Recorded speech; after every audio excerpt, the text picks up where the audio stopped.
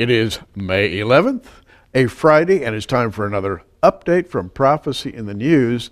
Uh, before I do today's update, uh, a little word about earthquakes. Uh, in the last uh, 24 to 36 hours, right here in central Oklahoma, we've had three small earthquakes ranging from 2.9 to 3.9 on the Richter scale.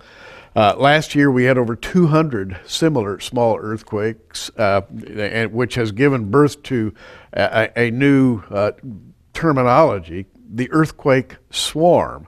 Uh, swarms of small earthquakes are being felt uh, all over the United States and right here in Oklahoma as well, where uh, in years past, if we had one or two or three, it was very unusual. All of which brings me to the words of Jesus in Matthew 24, in which he said that one of the signs of the end times would be uh, earthquakes in diverse places. Uh, just a thought. Well, back to Israel. For today's update, you may recall that uh, Monday, Tuesday of this week, the news out of Israel is that Benjamin Netanyahu canceled new elections, which were uh, scheduled uh, for September, and declared a unity government. In other words, uh, he summarily included all of the factions of the Knesset into one single unity government Here's a Dateline Jerusalem in a surprise turnabout. Israeli Prime Minister Benjamin Netanyahu has decided to cancel the early elections he called just 24 hours before and instead form a unity government with the opposition party Kadima. Uh, Israel officials said. Uh, this is, by the way, uh, Monday, Tuesday of this week. The decision shocked much of Israel's political establishment, uh, which was gearing up to dissolve the parliament. The Knesset and launch new elections for September 4th. Well, uh, by joining this government coalition, newly elected Kadima chairman Shaul Mofaz avoids facing voters amid polls indicating that his centrist party would lose more than half its Knesset seats. And so Benjamin Netanyahu, acting quickly, formed this unity government. But everybody's asking why. and in fact, it was a very unpopular move.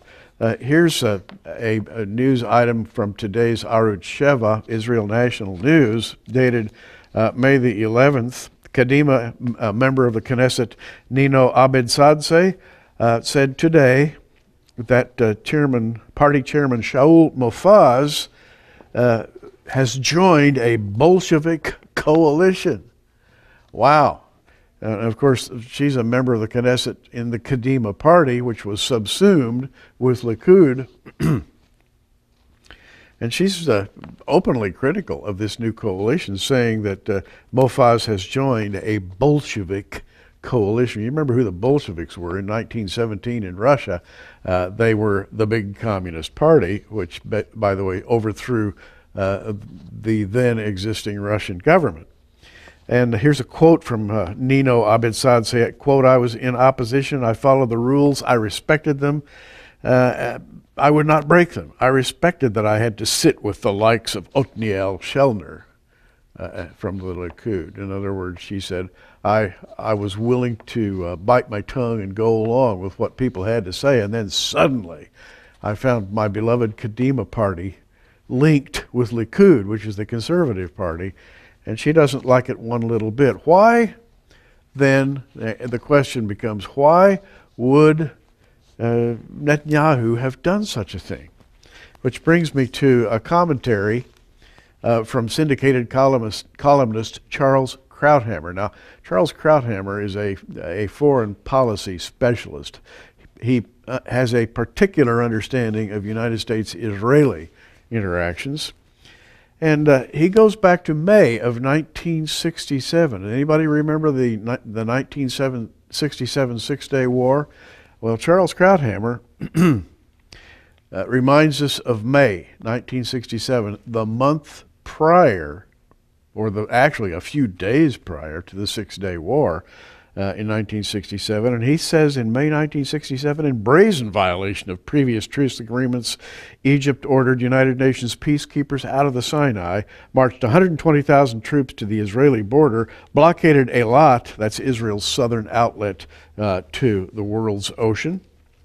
oceans, and he they uh, also abruptly signed a military pact with Jordan, and together with Syria pledged war for the final destruction of Israel. What he's talking about here is the Sinai Agreement. Egypt, Jordan, Syria uh, signed a pact agreeing to wipe out Israel. Israel was surrounded and alone, he writes. Previous great power agreements had proved worthless. That is, the United States, Europe had not done what they had pledged to do to protect Israel. So Israel felt abandoned and surrounded. What were they to do? A plan to test the blockade with a Western flotilla failed for lack of participants. Time was running out. Forced to protect against invasion by mass mobilization, life ground to a halt. The country was dying. That is, Israel was dying under a threat from Egypt, Jordan, and Syria, and the lack of support from the West. then on June 5th, Israel launched a preemptive strike on the Egyptian Air Force, proceeded with lightning victories on three fronts, and of course, the Six Day War is now legend. They defeated Egypt, Jordan, and Syria. But here's the point, and Charles Krauthammer wisely points out something that happened that had happened just days prior to the Six Day War. Israel launched that preemptive strike, but they had also formed a coalition party between disagreeing factions in the Knesset just days before the Six Day War. And why had they done that? They had done that to solidify for what they perceived was the coming war. And Krauthammer makes the point that Israel is doing exactly the same thing today, forming a uh, more or less hostile uh, government, a more or less hostile coalition government, uh, based upon what they are seeing uh, around them. Uh, we have conditions that resemble those in 1967. The West has not lived up to its promises to support Israel.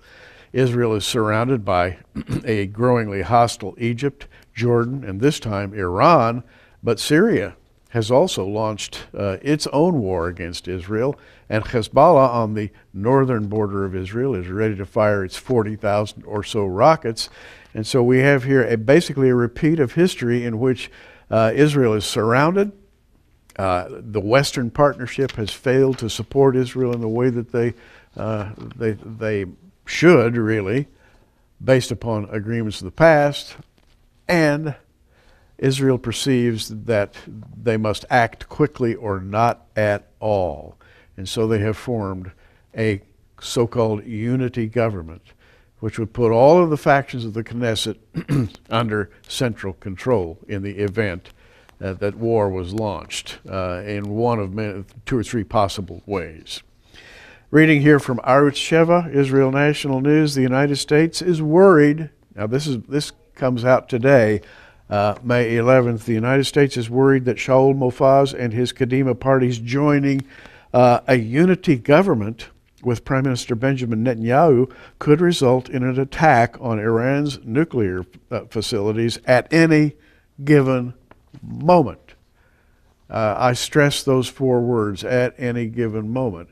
And remember, Israel is doing now what it did in the days and hours before the Six Day War, forming that unity government, which will enable them to have uh, central directorship in the event of a war. And so uh, let me reread this. The United States is worried that Shaul Mofaz and his Kadima parties uh, joining the unity government with Prime Minister Benjamin Netanyahu could result in an attack on Iran's nuclear facilities at any given moment. U.S. government officials told uh, Arutz Sheva that they believe a Likud Kadima joint government could make a decision about an Isra- Israeli attack on Iran at any moment, certainly before U.S. elections upcoming in November. Watch the Middle East.